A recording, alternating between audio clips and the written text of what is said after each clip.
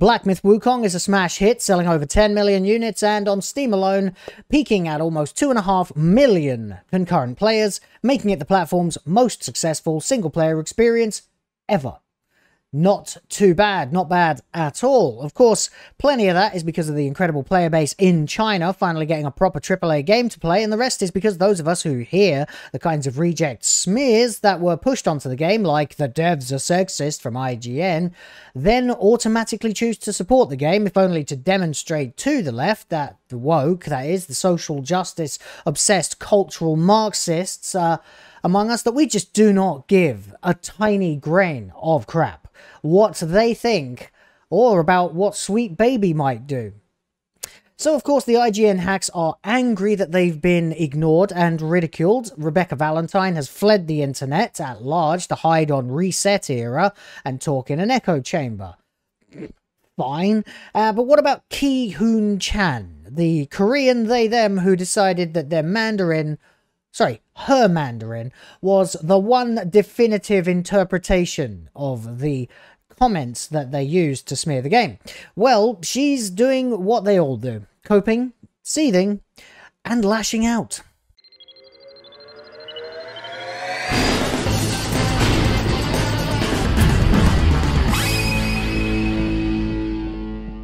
Hello, welcome back to Will of the Fans. My name is Will. See what I did there? Hope you're having a lovely, lovely day.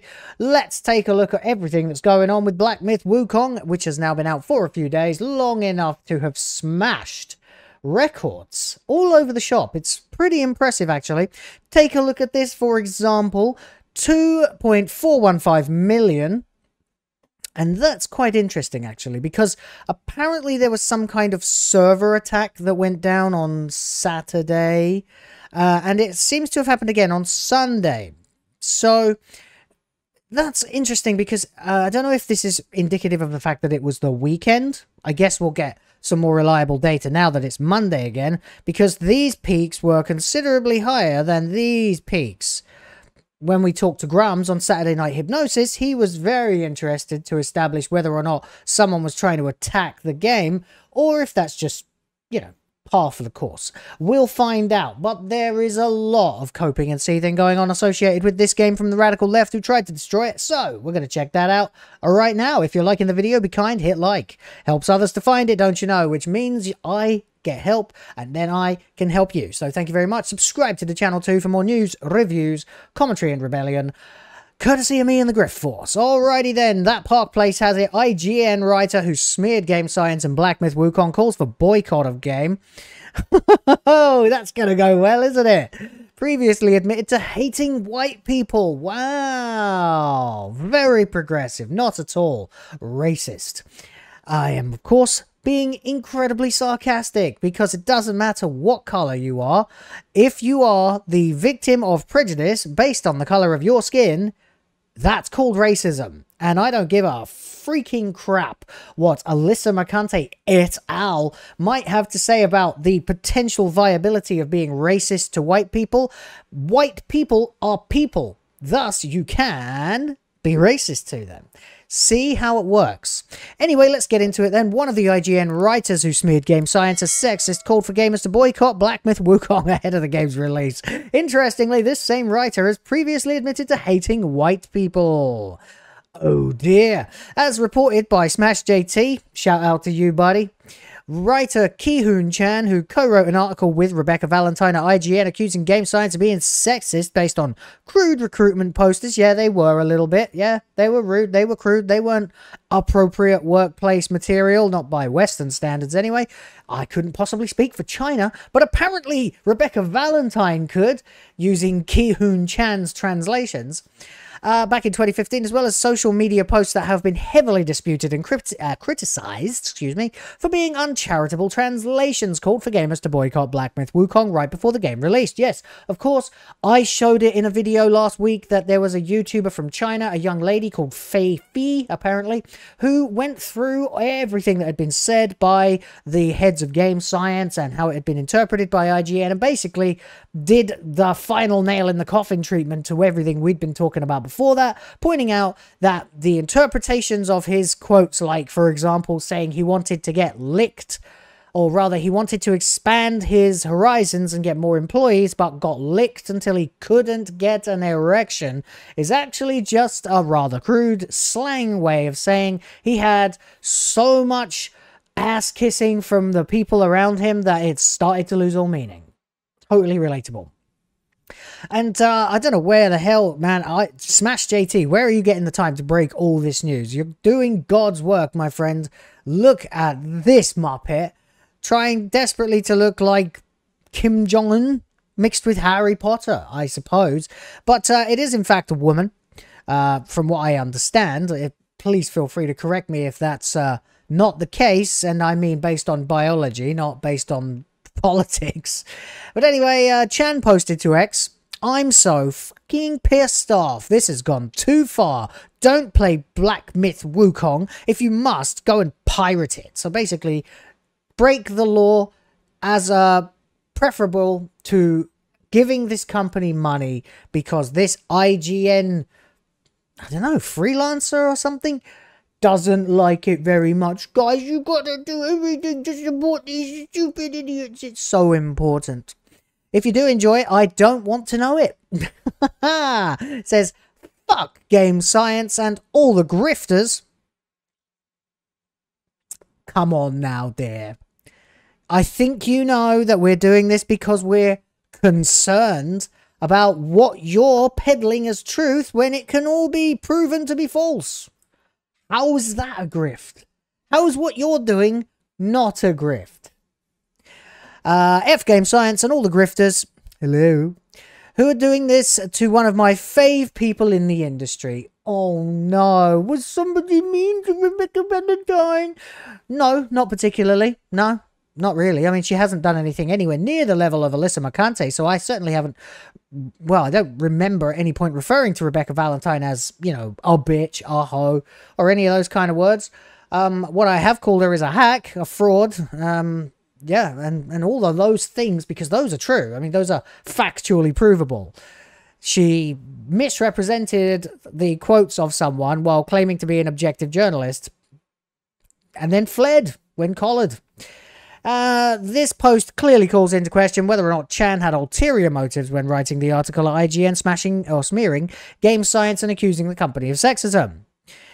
Chan's comments are not out of the ordinary. Back in 2022, as part of a lengthy thread discussing Sloclap's Sifu game, Chan denigrated white players and even admitted his hatred for white people. In one post, he wrote, White gamers have zero nuance, zero understanding of the world. What about those of us who live in Asia? I mean, I literally talk to your countrymen all the time. And it'll forever be like this because the world bends over to meet their expectations. No, no, it doesn't. And if it ever did, it certainly doesn't now. The world freaking hates us because of people like you and your racist rhetoric. Because you are a racist. And if they're upset, they'll just scream at the targets till everything works miraculously in their favor. Very little works in my favor. If everything worked in my favor, I'd have a hundred thousand subs by now. Two years? Yeah, I, I would have had. But I haven't. Gotta earn it. Gotta get people to do it. And if you haven't yet, you know, you can. No one's stopping you. Uh, but uh, carrying on. In another post, Chan wrote, Do I hate white people? Yes. Well, then you are a racist. And if you're a friend, you'll understand why this is never personal. So you just hate white people. It's not personal. You just hate all white people. So by pointing out that it's not anything particular to do with any one person, it's nothing personal. It's just a blanket thing for you. You are a racist. Their ability to scream reverse racism when faced with a tiny bit of criticism. No, no, no, you see, you haven't criticized anything concrete or quantifiable about white people. You've just said you hate white people. That is racist. The world revolves around them even in Singapore every day. That's not true. I've been to Singapore. There's plenty of people there who aren't white. And the world doesn't revolve around white people. It doesn't any more than it revolves around anybody else you just think it does because you've been brainwashed and conditioned to think it does. And the reason you've been brainwashed and conditioned to think it does is so that white people who are, by and large, very successful, quite industrious, pretty intelligent, you know, I mean, um, there's plenty of other types of people who are all those things as well. I'm just saying that we seem to have done very well as a color of people. I, I, I haven't nothing to do with me. I'm, I'm doing all right, I guess. But uh, you know, white people as a rule, yeah, conquered a few places and spread a culture around. The the most successful culture ever in human history. You know, the one that promotes freedom and you know entrepreneurship, that kind of thing Yeah, it's, it's gone quite well. So uh, the whole rest of the world, mostly other white people, should be pointed out, have decided to tear all that down, break them so that they're easier to control. That's why men can't be like men anymore and women can't be like women anymore because that creates families and families are much harder to take down than lonely, confused individuals like you. So uh, that's why you hate white people. Decolonizing queer games at play. What? Oh, and an article published by first person scholar titled Decolonizing Queer Games and Play. In April 22, Chan wrote Filtering games through the language of queer design may be a powerful and crucial step towards embracing diversity. But what is usually lacking in these discussions is intersectionality. Despite the growing prevalence of queer narratives in games, what is this fucking gibberish, Chan? It's nonsense decolonizing, filtering, queer, powerful, crucial, embracing, diversity, lacking, intersectionality, prevalence, narratives, queer, growing, bulk, stories based, queer, characters, queer, Eurocentric, decolonized paradigm, decoupled, con- coloniality. Where fucking hell, this is gobbledygook. to paraphrase Norm MacDonald, that's some commie gobbledygook. Yeah, you can get in the sea. Because Black Myth Wukong has sold 10 million units across all platforms, 3 million concurrent players across all platforms. And then they go to bed, the other half of the world gets up and does the same thing. Pretty much. And you can't handle it. You are coping, coping and seething. See? And thus, well, you can see for yourself. They've had to protect their cat. She has had to protect her tweets. Why? I guess if you lock the door, the truth can't get in to hurt you. But uh, there you go. The truth might hurt, but I'd rather live in reality. That's just my choice. Let me know how you feel about this in the comments down below.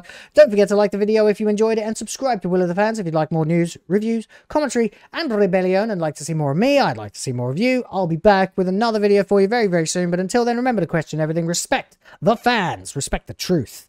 And I will chat to you next time.